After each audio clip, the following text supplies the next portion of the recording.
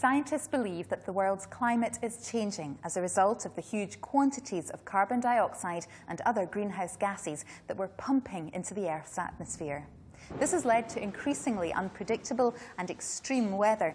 So as the Earth heats up in the years ahead, we may find that the climate in each of these zones could change too.